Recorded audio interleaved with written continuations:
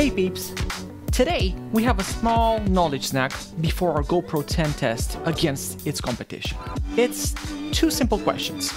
One, is 60 frames per second better than 120 frames per second?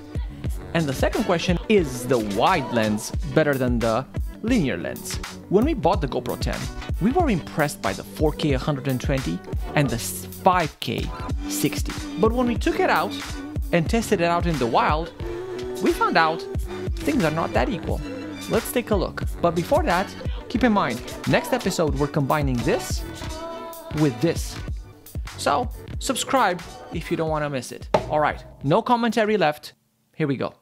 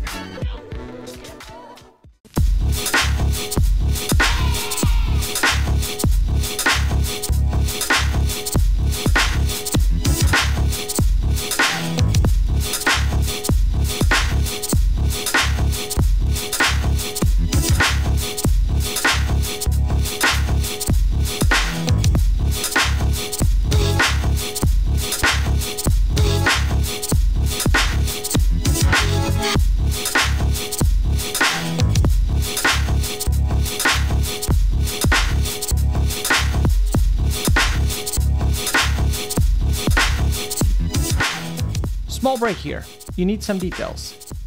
All the footage you're seeing here is placed on a 24 frame per second timeline. So you take a 60 frame per second footage and you put it on the 24 frame per second timeline, all of a sudden it stretches. That's why you're seeing slow-mo everywhere. Just wanted to recap that. 24 frame per second timeline. Let's continue.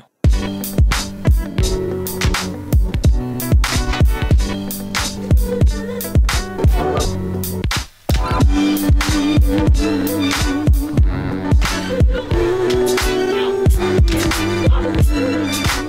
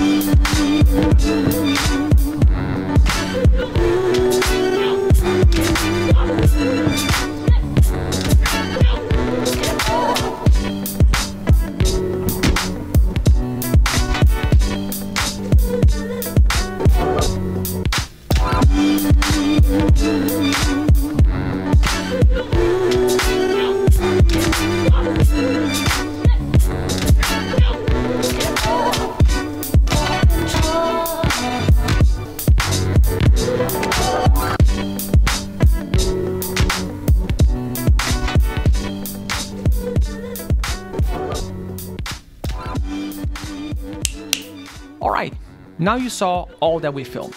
You probably have your opinion. Our opinion is that 4K 60 is the way to go with 4K. We're gonna use the 120 also, but if you want quality, we're gonna go for 4K 60. And in the case of the 5K, we love it. Probably gonna use the 60 also, but I think for the wide lens, the wide lens seems better in most cases. We see more details in the wide lens. It feels different. Comment in the comment section below. Tell us what you think. Which one did you like?